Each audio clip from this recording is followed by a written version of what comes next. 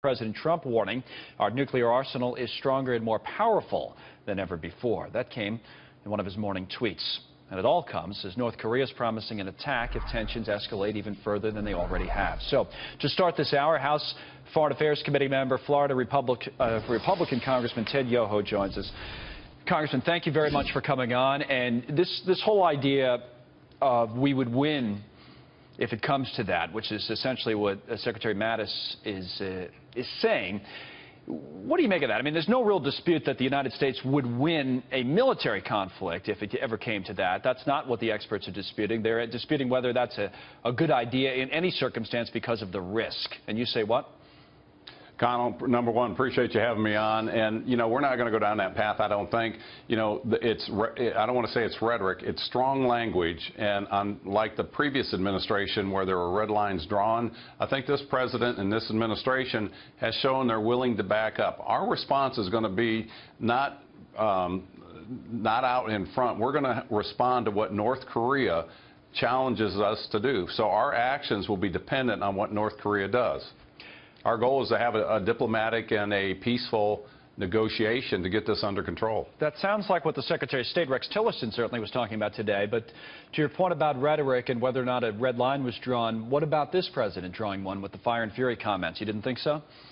Well, I think you've seen this president doesn't make uh, threats. He, will he'll follow through on actions. The goal is for North Korea is the one that will determine what those actions are. That's why you know I chair the uh, Asia right. Pacific Subcommittee on Foreign Affairs, and that's why we've worked closely with uh, the State Department with Secretary Tillerson, and we've ratcheted up the sanctions on the world community, particularly China with primary, secondary, and tertiary sanctions from their government to the businesses to the banking systems uh, to put the pressure on North Korea. China, as we know, accounts for 90% of the trade that North Korea does. They're the ones that have the biggest influence on China. And again, we're not trying to attack anybody. You know, right. our goal is to have a peaceful negotiation so that we can bring this conflict under control. But when you have somebody like uh, Kim Jong-un that repeatedly makes threats of attacking our mainland or Guam, you know, this has to be responded to, and let's get to the negotiating table. And if he keeps doing it, if he keeps making not only those threats, but he keeps testing missiles and doing what he's done, what his history has shown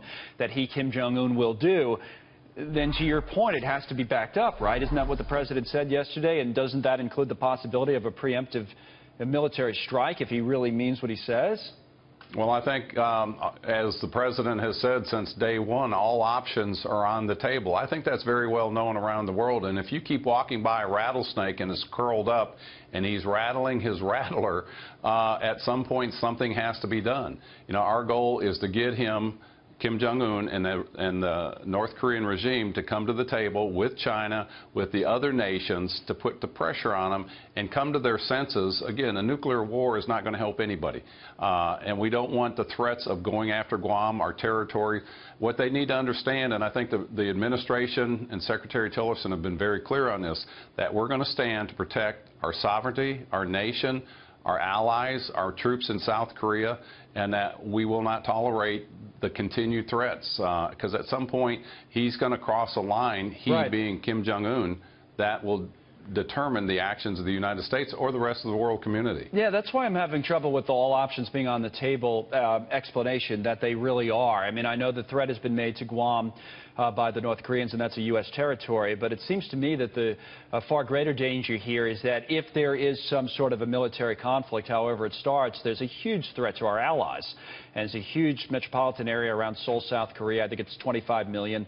There's a huge metropolitan right. area around Tokyo, Japan. In all, it's something like 38 million.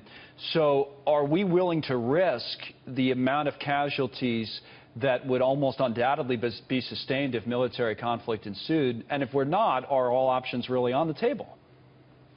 Well, again, all options are on the table, and that's to get North Korea to come to the table. And if you look at what we've done with the sanctions, you know, I think the reason that you're seeing North Korea being so belligerent is because they know these sanctions are for real this time.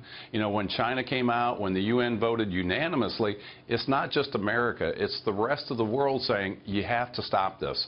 And I think you're seeing Kim Jong-un act um, angry, and hopefully he'll understand that the world's not playing with him, that they will come um, uh, to, to respond to this um, um, rhetoric that Right. I don't want to say it's rhetoric. His actions, his actions are going to uh, determine the response from the world. There'll be some sort of talk and pressure on out here. China. No, that's okay, Congressman. Um, we thank you for your time and thank you so much for coming on again. We'll, we'll talk to you soon. Yes, sir. Serious, serious Appreciate times. it. You have a great day. Yep.